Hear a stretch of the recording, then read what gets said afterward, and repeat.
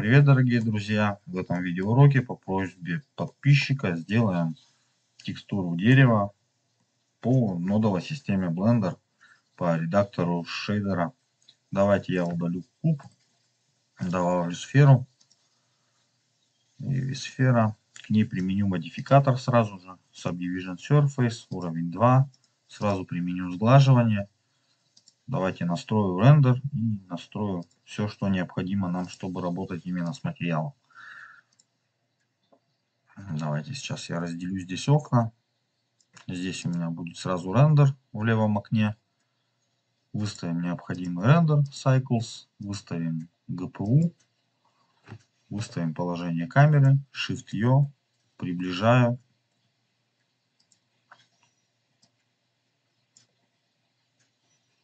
И здесь у нас будет редактор шейдера, шейдер эдитор. Сразу применим новый материал. Давайте сейчас перейдем во вкладку материала, новый материал, назову его Wood. Wood. Непосредственно давайте проверим Node Wrangler, подключен он у нас или нет. Preference. Вкладка Node. Not, not Wrangler. Not Wrangler включим. Если галочка не стоит, проставьте у себя галочку. Так, и следующим шагом мы с вами сейчас будем применять наши ноды. Давайте мы, нам необходимо, нам необходимо настроить рендер. Еще я забыл. Так, давайте перейду во вкладку World. Ctrl-Shift-T. Извиняюсь выделяю ноду background, Ctrl-T, появляются сразу вот такие вот ноды. И здесь во вкладке Open, у меня здесь на рабочем столе есть уже HDRI карты. В предыдущих уроках я показывал, как где находятся непосредственно блендера, стандартные HDRI карты. Посмотрите про металл, посмотрите про камень. Там я подключаю именно стандартные ноды, стандартные HDRI карты блендера. Здесь же я сейчас открыл через рабочий стол. Так, давайте вернемся к нашему объекту. И здесь сейчас нам первым делом Ctrl-T нам понадобится Давайте удалю лишнее. Я просто две ноды выделил сразу. Мне надо было просто, принципе, BSDF выделить. Ctrl-T нажимаю. И вот эту вот ноду image тексту, она нам изначально не нужна, я ее удаляю, а оставляю вот текст координат и маппинг. Давайте сейчас мне понадобятся паттерны. Это получается noise. Давайте сразу же. Ну, давайте начну с микса, потому что мне надо будет миксовать их. Так просто Shift нажму и напишу микс Микс RGB. Вот мой микс RGB. Я его сразу подключу к вектору в ноду Color 1. И здесь Noise текстура. Давайте. Noise. Вот сразу наш Noise.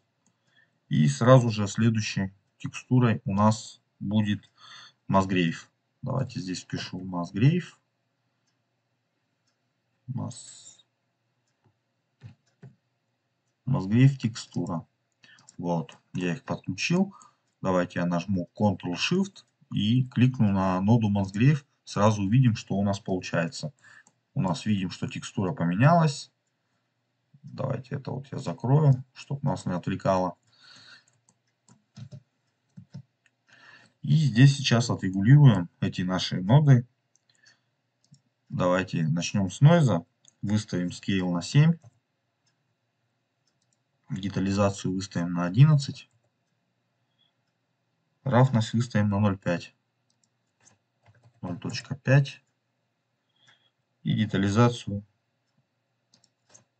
1.12. Видим, что у нас что-то получается, что-то изменяется, но мы еще будем редактировать. Так, здесь фактор мы подключим к скейлу сразу же. И детализацию сделаем на 16. Этот параметр у нас будет в нулях. Здесь двоечка так и остается. Что нам надо будет следующее сделать? Следующее нам нужно будет фактор смешивания поставить на 0.12, чтобы у нас получилась вот такая вот текстура. И нам нужно будет вот эту вот нашу текстурку, она у нас отображается немножко с косячком, потому что она ориентирована на UV развертку, а нам нужен объектный режим. Вот, переключились на объектный режим, получили следующее. Так, давайте я Ctrl-Shift нажму вот так вот и сразу переподключу в Base Color, чтобы мы видели, что у нас здесь получается.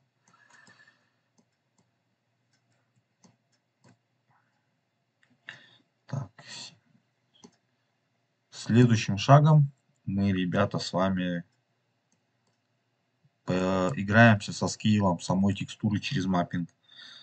Нам необходимо ее растянуть. Давайте я покажу, как это сделать. Это будет по оси X 1.1.08. Здесь будет на 0.15. И ось Z 0.15.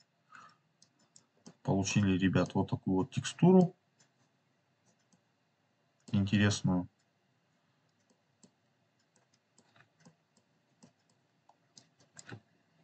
А сейчас вот так вот сделаем. Рендер у нас Cycles, GPU. Все правильно. Что-то как-то отображается странно. Ну ладно. Давайте я обрежу, переподключу.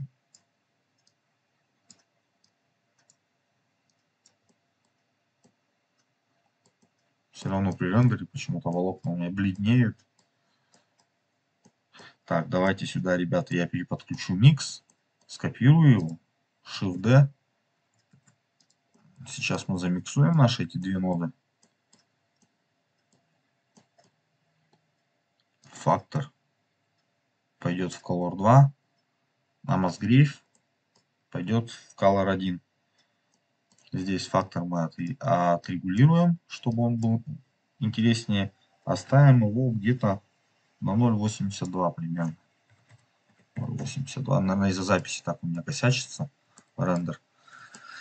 Так, вот, ребят, мы получили вот такую вот структуру дерева, которая очень похожа на настоящую. С помощью математических вычислений вот этих двух нот и смешивания их между ними, именно с такими параметрами, мы получили интересную структуру дерева. Дальше по этой черно-белой карте мы сейчас будем добавлять цвет через Color. Давайте сразу добавлю Color Ramp. И что касается Color здесь нам понадобится еще два цветовых якоря, которые будут нам обеспечивать более плавный переход с темного оттенка на светлый.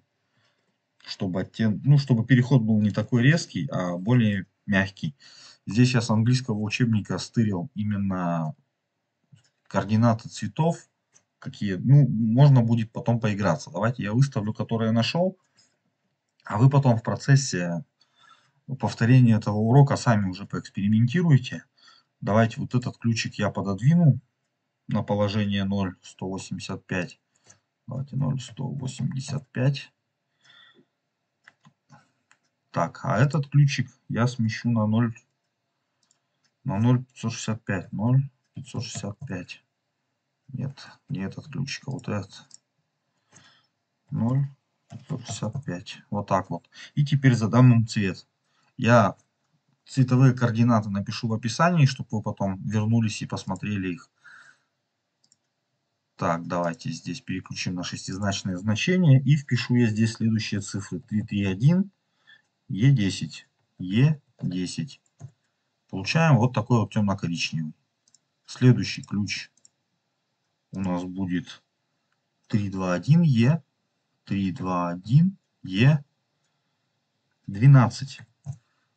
Он аналогичный, но чуточку светлее. Следующий ключ у нас будет Давайте. 7F 7F 562E 562 Е. Получилась еще более светлая текстура. И давайте здесь также впишем с, с 49 16, 165 165 вот ребят получили вот такую вот структуру дерева благодаря вот этим ключам и правильному расположению. Можно конечно поиграться поредактировать получать более интересные результаты разнообразить свой материал.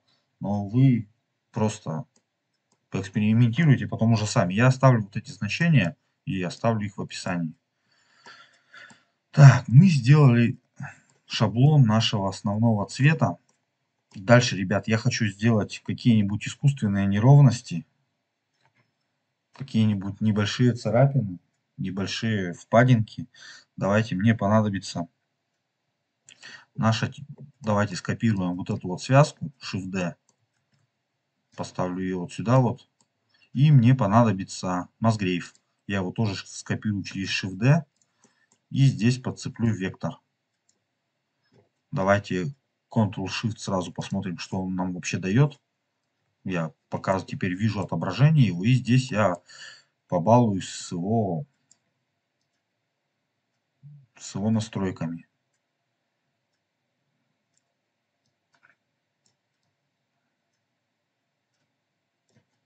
Давайте вот такое пятно сделаю. Здесь также мне понадобится Color Ramp. Я его тоже скопирую. Shift-D.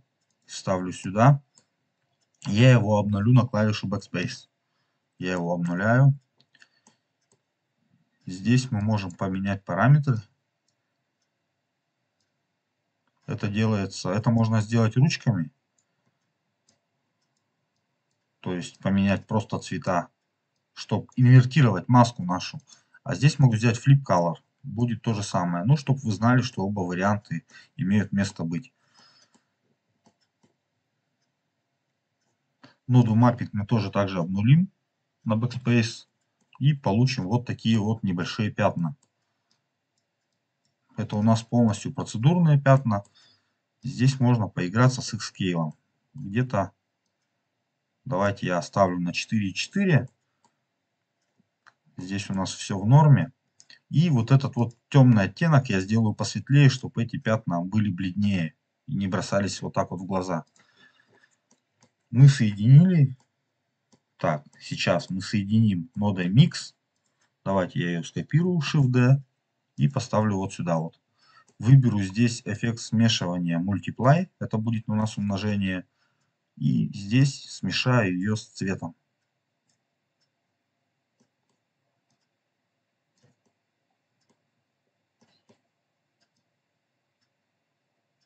Так, видите, у нас появились такие темные пятна но их плохо видно, мы можем сейчас уже на данном этапе сделать их темнее.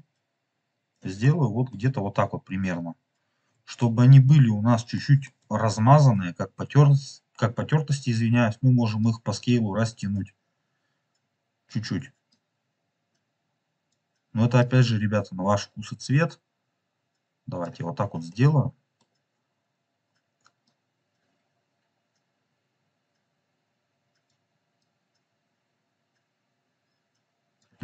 Так делать, Ctrl-Z. Я оставлю вот на таком значении. Давайте здесь единичку верну. И у меня будут вот такие вот пятнышки. Сделаю их чуть-чуть светлее, чтобы они как бы были. Мы потом с помощью этой карты еще сделаем нормаль. То есть она будет, вот эти именно, именно эти пятна, они будут участвовать в неровности поверхности. Так, дальше, ребят, что нам нужно сделать? Давайте я снова, извиняюсь, скопирую Shift-D. Теперь уже всю эту связку полностью. А, Ctrl-Shift на Color Здесь я обнулю Color клавишей Backspace. И здесь мне нужно будет растянуть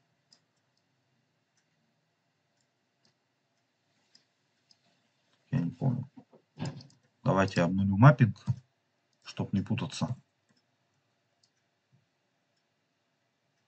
сделаю вот такую вот структуру. Растяну ее прям, да пусть будет 100. Нормально. Сейчас мы колорампом подрегулируем. Сделаем тоже color ramp. То есть инвертировали снова эту маску.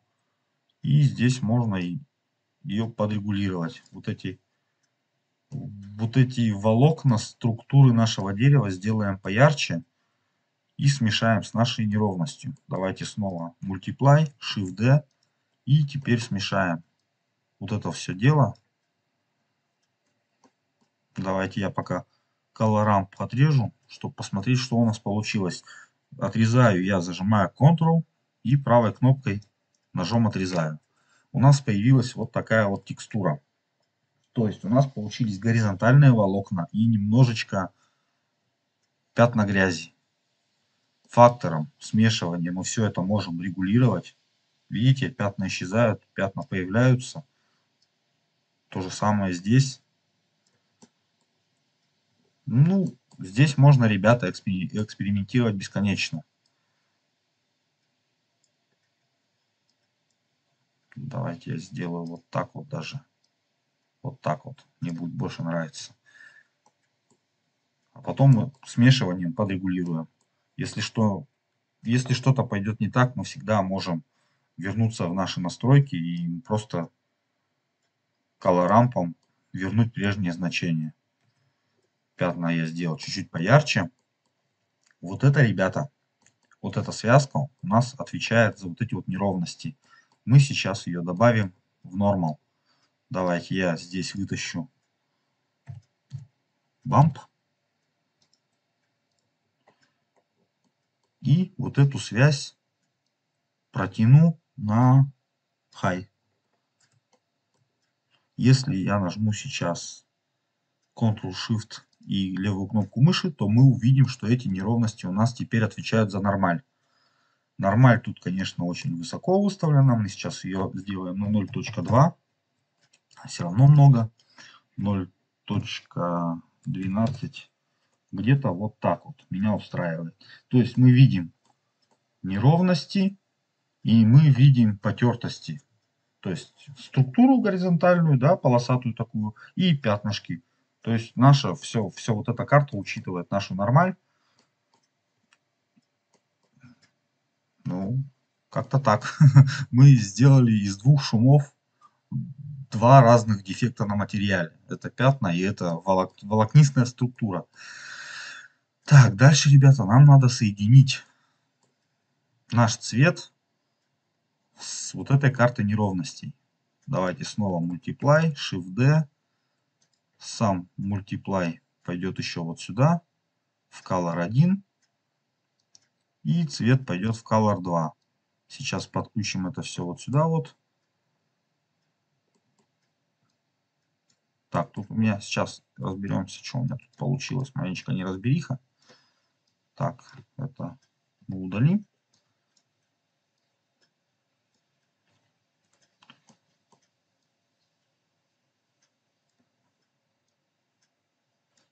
Так, фактор смешивания на, на единицу.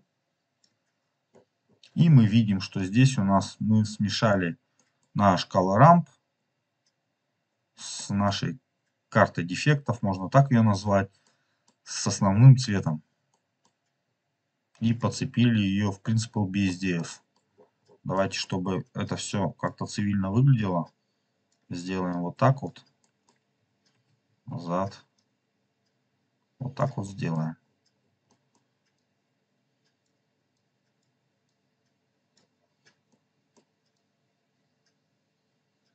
И вот так вот сделаем. Теперь видно, что у нас здесь карта цвета соединяется с колорампом. Колорамп смешивается в свою очередь с картой дефектов. Давайте дефекты у меня, мне кажется, чересчур. Сейчас я их подредактирую маленечко как и сказал, что они чересчур темные у меня получились. Сделаем посветлее, чтобы они не бросались в глаза. Ну так вот критично. Также можем, ребят, поиграться здесь с фактором относительно нашего цвета. Можем поиграться здесь с фактором смешивания, получать абсолютно интересные новые цвета. Все это дело у нас редактируется, все это процедурное, все настраивается. Так что мне кажется, это очень классный генератор древесины, на котором можно уменьшать, увеличивать дефекты. И сейчас мы чуть-чуть спекуляр подубавим, потому что мне кажется, что материал чересчур блескучий. Я сейчас добавлю mesh, добавлю пластину RX90. Чуть-чуть ее вот так вот отскейлю. И назначу тот же материал на нее.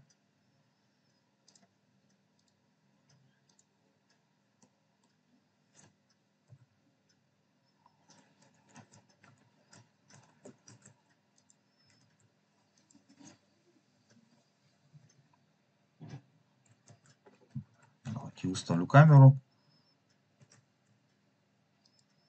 И попробую отрендерить F12.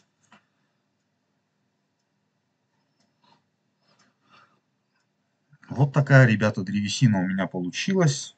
С царапинами. Мы видим четко, что здесь есть царапины. Чуть-чуть заметны пятнышки, да. Налет, может быть, это пыль. И сейчас я сразу для превью сохраню финальный рендер. Нет, я потом попозже сохраню, когда запись закончу, потому что рендер идет очень долго. У меня все-таки 4000 сэмплов. Вот. Чем выше сэмплы, кстати, тем выше качество, хотя уже отрендерилось наполовину.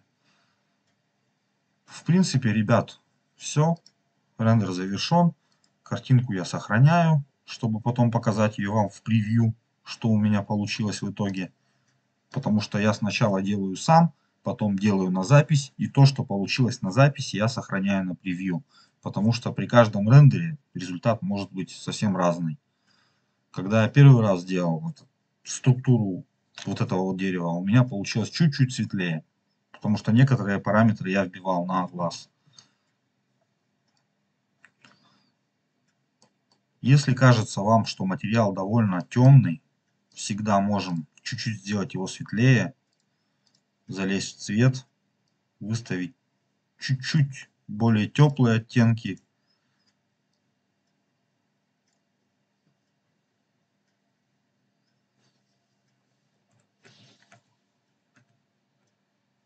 Поиграться ползунками. И добиться что-то более подходящего. Ну, ребят, у каждого свои нужды.